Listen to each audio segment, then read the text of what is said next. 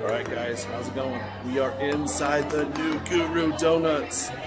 This is amazing. So if you're not familiar with Guru, this is in Eagle.